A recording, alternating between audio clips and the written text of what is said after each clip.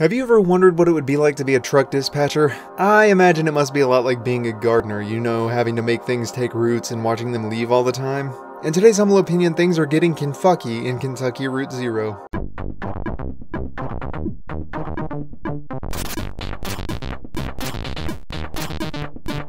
Kentucky Route Zero is a highly artistic point and click adventure game developed and published by Cardboard Computer, and if this is the kind of game we can expect from a cardboard computer, I can't see what happens when they upgrade to Driftwood. Now, when I say that the game is highly artistic, I'm not saying that it is that way because of how it looks. Not that it doesn't look artistic, I mean, it's really got a minimalistic and hilariously somewhat of an Art Deco look going for it. Rather, what I mean is that if you can think of an artistic medium, then it's probably using its principles to create something truly impressive. The two most obvious are the bare bones visual and auditory cues. Like I said, it visually seems to take inspiration from minimalism and more specifically Art Deco, which is an interesting choice considering that I often associate that form of art with big cities in progress rather than a lonesome road blues type of feel. It suits it pretty well and allows the player to project whatever ideas they might have about the characters onto them as opposed to giving them definitive traits. Not only that, but the high contrast style does an excellent job of setting the mood, lending its dark shadows and bright patches of light to create an ambiguous sense of vague fear with bits of lightheartedness and interest that makes it feel strange at all times. The sounds in the game are equally as impressive. At times it seems like there are almost none, the silence deafening as you focus in on the dialogue or hear something particularly important like a well-timed musical interlude that infuses the game with an authentic country road feel. They even have a character that seems to be dedicated explicitly to pretentiously telling you how important sound is to molding an audience's emotional state. One song in particular seemed to resonate directly with my soul, but that's really big in the story and I don't want to say too much about that lest I give something away so we're gonna keep it vague. The narrative has so many layers that DreamWorks needs to rewrite Shrek so that he compares ogres to it rather than an onion, because onions don't have shit on this. From a critical standpoint, you could analyze it in numerous ways. It carries with it a considerable number of themes ranging from alcoholism, nostalgia, journey home, self-discovery, doubts, mortality, and life in general. It reminds me of some of the pieces that I read in literary analysis class. One particular form of analysis that I think would be interesting to unravel the game with would be psychological, since the game seems to be less about actually playing it and more about you as a player. The only real control you have over it is the information that you get through exploration and dialogue choices. Everything else comes from the story itself. And dialogue doesn't really hold any influence over the sequence of actions, so it's more like you're exploring your own curiosities and putting your own psyche onto the characters. In other ways, it's also reminiscent of a classical epic with a long journey of trials and complete with a descent into the underworld. Perhaps the most interesting influence over the game's direction is that of the theater.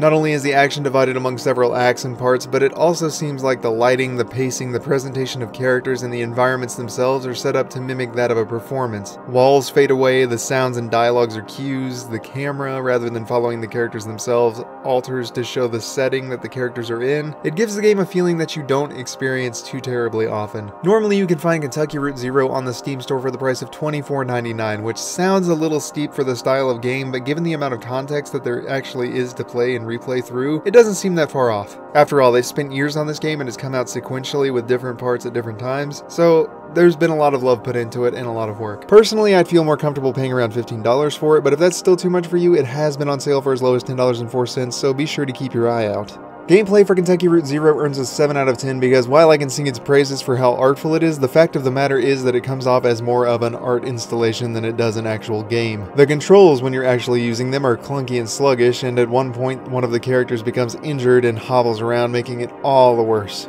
While that may be great for storytelling, it makes the game seem like it trickles on for longer than I'd like, kinda like when Grandpa's telling a story and then goes off on a tangent instead of getting to the good stuff and wrapping things up. And again, like I said, there isn't much gameplay to be had. There aren't any puzzles, you're just kind of controlling the actors through their story arcs and discovering more about yourself. Still, I don't want to give it a lower score because the premise itself is interesting, and if you're alright with something that feels a little pretentious at times, surreal, or avant garde for the sake of having something to dissect and think about, then it's definitely worth looking into. Value, on the other hand, earns a perfect 10 out of 10 for offering a truly phenomenal experience that cannot be had anywhere else. Kentucky Route Zero, while I have some reservations about it, is something that I've not seen before. It's thoughtful, it's interesting, and it manages to nearly perfectly capture the mood that it seems to be trying to go for. It's something that tugs at the heartstrings by creating a very familiar and specific emotion, but in an incredibly vague way that you can't quite put your finger on. Kind of like the ache of nostalgia when you think about it. Literally every element of the game is masterfully crafted to create the feeling, but doesn't directly point at it, and it's absolutely genius. With a composite score of 8.5, Kentucky Route Zero earns an A-. Minus. It's one of those things that even when you don't like it, you have to marvel at what it manages to accomplish and acknowledge that while it's not your cup of tea, it's objectively a powerful experience.